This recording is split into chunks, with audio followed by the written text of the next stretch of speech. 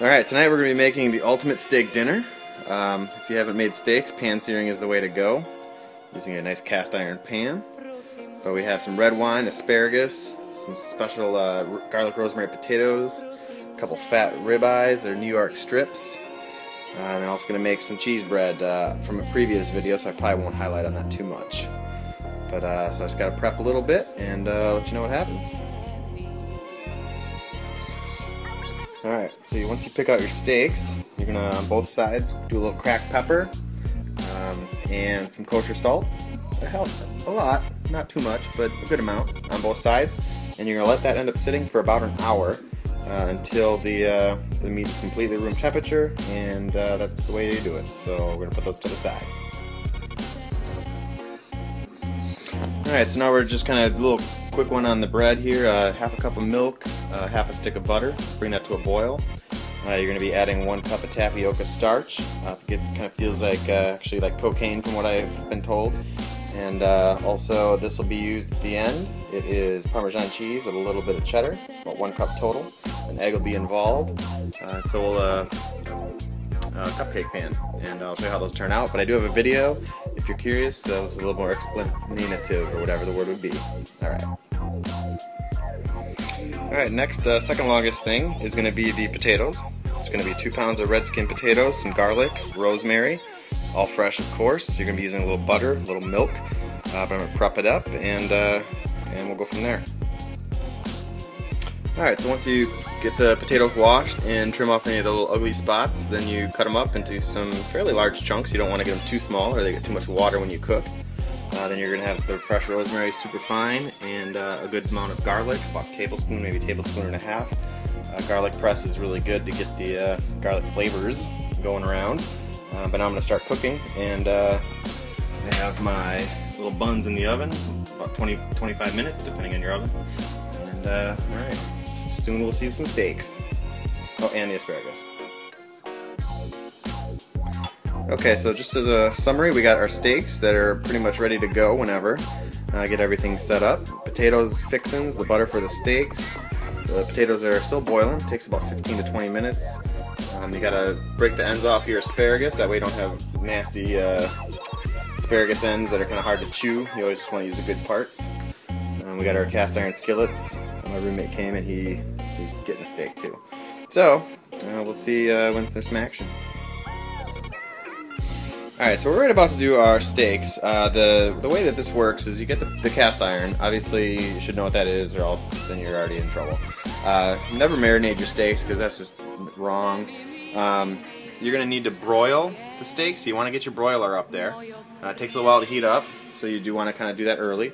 The oil you use, uh, you might you can use a little oil, uh, olive oil, on the steaks themselves, but in the pan you're going to use peanut oil. Uh, peanut oil has the highest smoke point. That way you can get them uh, searing the way you want. So that is really what you need to do. So we're going to get those steaks in there in a second. We're to be doing this now. Uh, we're to get the steaks in here. As you can see, there's some smoke coming off. That means the smoke point is hit. That's what you want. So in the little pan, I'm to do my big ribeye. In the bigger pan, I'm to do the two smaller ones. We're going to be doing about 45-50 seconds on each side. Um, you flip it over, wait, and you don't move it, you just gotta let it sit. Uh, once you get all that done, after the second 50 seconds, you throw it into the broiler, the top top, uh, top thing here, um, and you're gonna be doing about a minute and 45 seconds per side. You can add time to that if you want it more well done. You can take a little bit off. This is gonna be a right under medium, uh, medium rare more or less. Um, so here we go. Mosaic is assembled. Get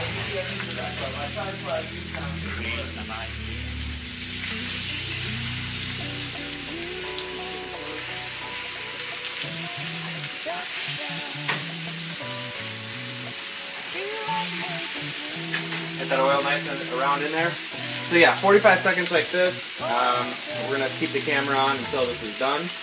Um, let's see here, start. Okay, I got another stopwatch. So we're gonna do 40 seconds because I think I forgot to start it. So we're gonna wait. The sizzling is awesome. You can even turn these the, the heat up a little bit. I'll get burning myself. Just to keep it up because these cast iron skillets lose heat, but not very fast. So we're gonna keep going. 20 seconds, 30 seconds. 20 more.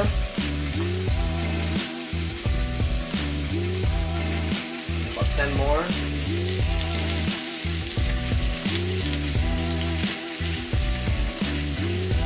Five more. Alright, so we're gonna do the little ones first.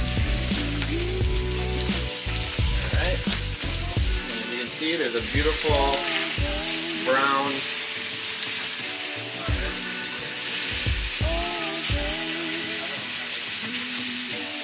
Alright, so we're gonna do this another 50 seconds. I'll probably throw the littler ones in uh, so they're thinner. In fact, I'm gonna turn this off. I'm going to start actually with the uh, asparagus. Turn this up. Just uh, get that butter melting. They do take about five or six minutes.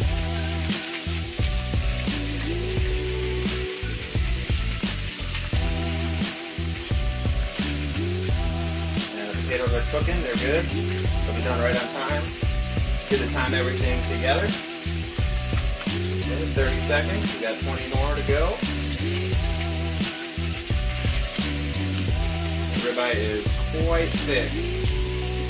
That is okay. Ten more seconds. You want to make it, use your glove because you can burn yourself real bad. Alright, so two minutes per side or less. 145 actually. Okay, so we're gonna flip the steaks. I'm um, gonna do the littler one Oh my god, it started on fire. Okay, hold on. So let's flip these over.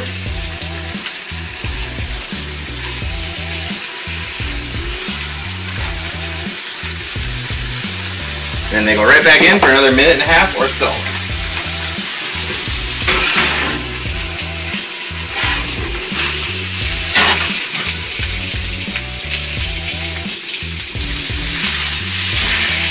Oh, that is all flavor right there, that darkness. That is good. Now these pans are ridiculously hot, and so watch yourself. You might burn yourself like I just did. So go ahead.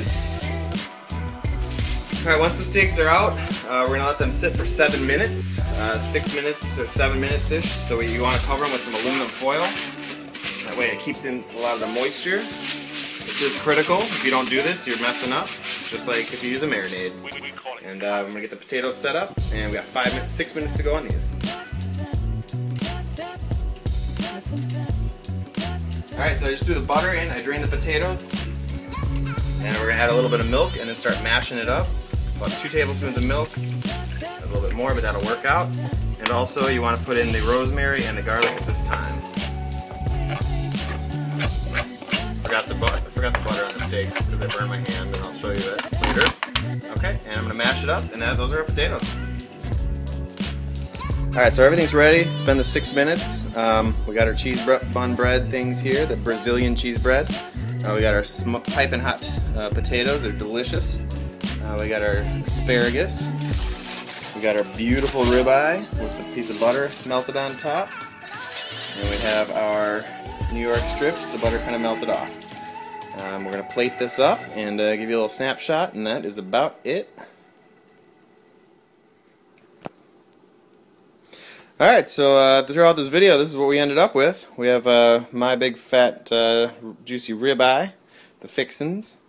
We got a couple little uh, New York strips, not that little, but uh, definitely smaller than mine. And so that's cool.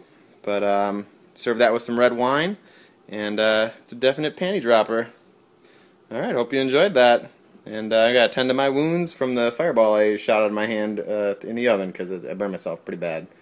But uh, enjoy your meal, and uh, you should definitely make this uh, for your girlfriend, or if you're a girl, make it for your boyfriend. Alright.